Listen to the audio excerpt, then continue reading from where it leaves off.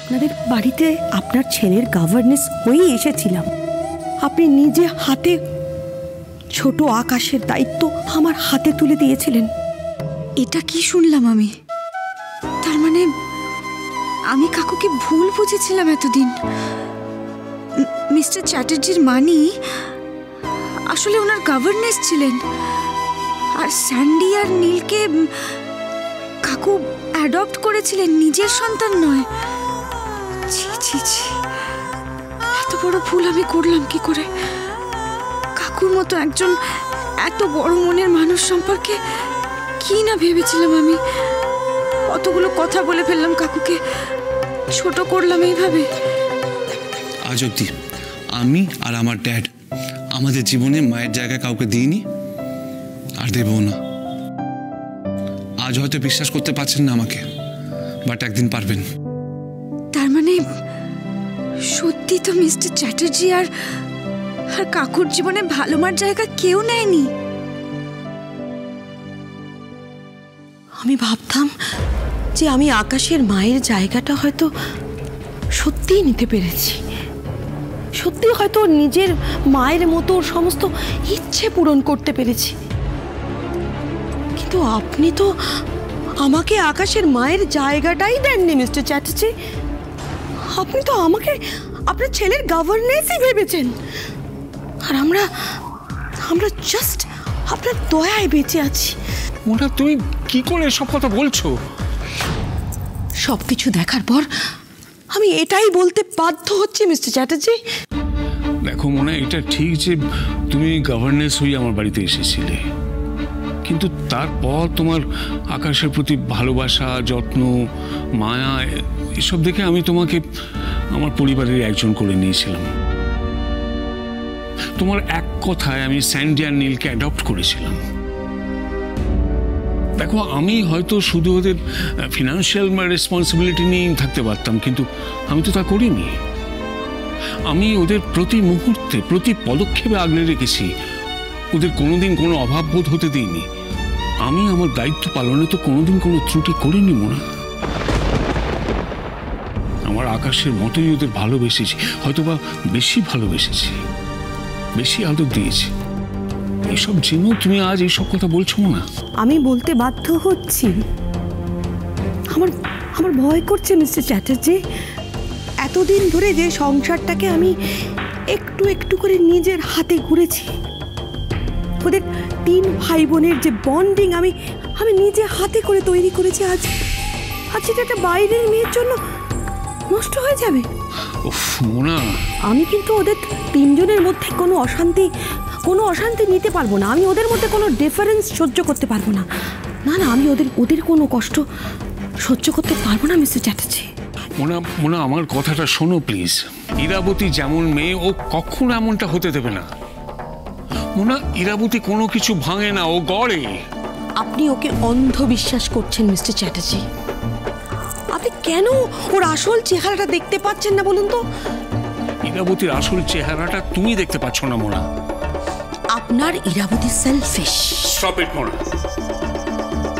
এই বিষয়ে আমি আর একটা কথা বলতে চাই না। ওকে। আপনি আমার কথা বিশ্বাস করতে চাইছেন না তো? ফাইন ওই মেয়েটাকে আপনি বিয়ের প্রস্তাব দিয়ে আটকাতে চাইছেন তো? আমি আপনাকে বলছি তার কোনো দরকার হবে না। কারণ ওই মেয়েটি আদৌ এই বাড়ি ছেড়ে যাবে না। এটা আমার আপনাকে চ্যালেঞ্জ রইল, মিস্টার চ্যাটার্জি। না গেলেই ভালো। আমিও চাই না ইরাবতী বাড়ি ছেড়ে যাক। কিন্তু যেহেতু তুমি আমাকে চ্যালেঞ্জ করলে, তাই আমিও তোমাকে চ্যালেঞ্জ করছি, মোনা। যে ইরাবতীকে তুমি স্বার্থপর বলছো একদিন সেই ইরাবতীকেই তুমি নিজে বাড়ির বউ করে নিয়ে আসবে।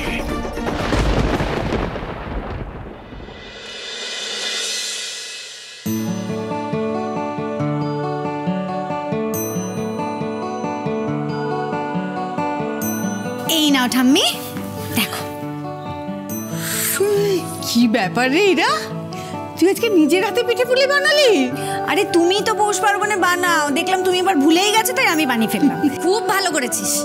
খুব খুব খুব ভালো করেছিস। আমি না অনেক দিন থেকে মিস করছিলাম জানিস তো?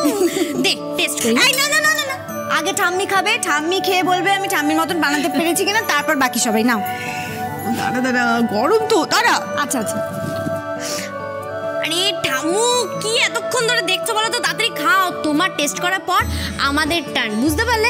আমি আর অপেক্ষা করতে পারছি না তাড়াতাড়ি দিয়ে না আচ্ছা, দাঁড়া দাঁড়া। দাঁড়া দাঁড়া খাইয়ে দিচ্ছি। হ্যাঁ করো দেখি। ঠাম্মু ইরা যখন বানিয়েছে খারাপ হতেই পারে না। সত্যি এরা কি ভালো বানিয়েছিস রে। একেবারে তোর মায়ের হাতের স্বাদ। এরকম তো আমিও বানাতে পারি না।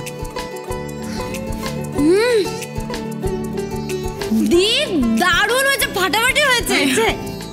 আমি ভাবলাম মিস্টার চ্যাটার্জিও তো কখনো ওই পিঠে পুলি এসব খাননি। ওনার জন্য বানাই ওনার হয়তো খুব ভালো লাগবে।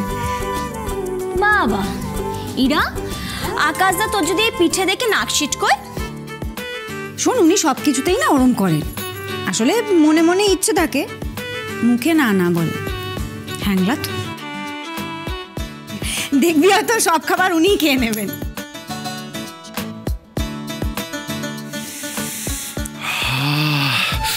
ইরাবতী গুড়ের গন্ধে তো সারা বাড়ি মমা করছে। কি বানিয়েছে বলো তো? এই যে? আরে বাস পুলির পিঠে ভীষণ অসভ্যতা ছেলেটা। না, হুম, হুম, অসভ্য অসভ্য। অসাধারণ মুগ্ধ যে কোনো কমপ্লিমেন্ট এই পুলির পিঠের কাছে কম পড়ে যাবে আমি বলে দিচ্ছি। আমি আমি ঠিক করে নিস। আমি এই বাড়িতেই শিফট হয়ে যাব। কাকু কোথায় গেল? মামু আসছে।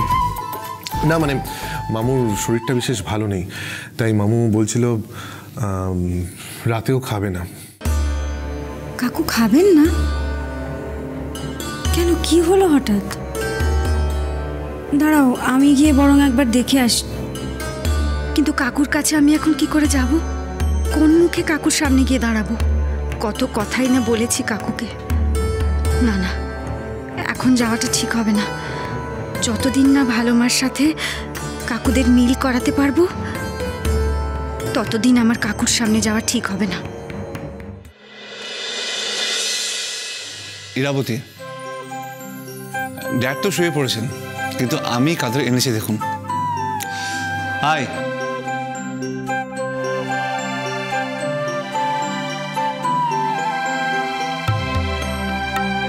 খুব ভালো করেছেন।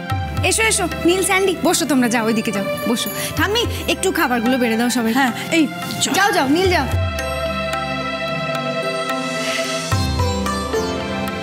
আপনি আবার দাঁড়িয়ে রইলেন কেন? বসুন।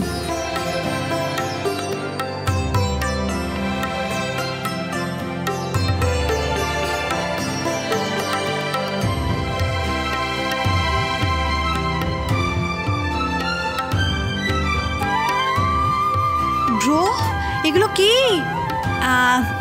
এইটা যেটা দেখছ এইটা হচ্ছে মাছের মাথা দিয়ে মুগ ডাল। এটা হলো বেগুন ভাজা। আর এইটা হলো আলু পোস্ত। এখন এইগুলো দিয়ে খাও তারপর কিন্তু আরও আছে। এরপরে আছে তোমার ফুলকপির ডালনা ছানার তরকারি আর রুই মাছের কালিয়া। আমি তো এর আগে কখনো নামই শুনিনি। আচ্ছা আরেকটাও কিন্তু স্পেশাল খাবার আছে। মিনিট। কিন্তু এই খাবারটা শুধুই মিস্টার চ্যাটার্জির। কচুরলতি কচুল্লতি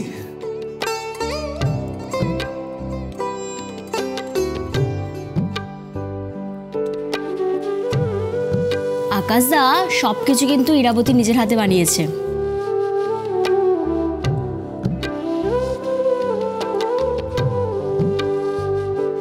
কচুরলতিটা বাদে। আমি দেখতে চাই মিস্টার চ্যাটার্জি। আপনি খেয়ে বুঝতে পারেন কি না এটা কার তৈরি?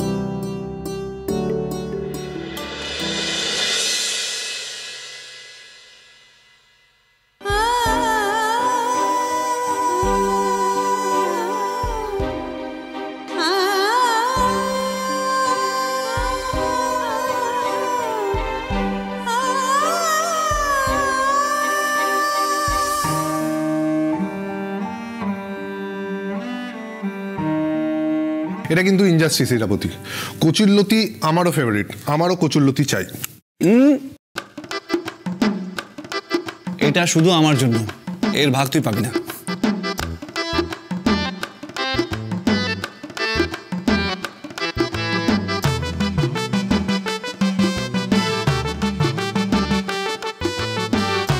ব্রো আমরা এসব বেঙ্গলি ফুড খাই না।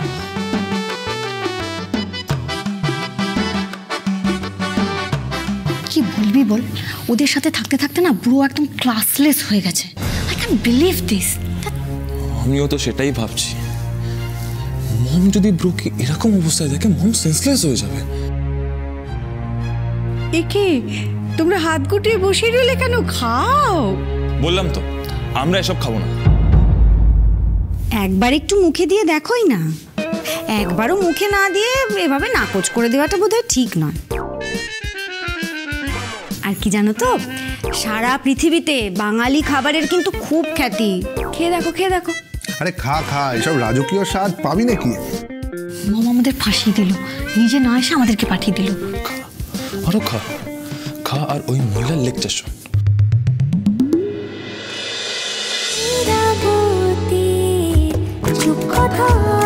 চলো চলো চলো চলো চলো পাল্টাই।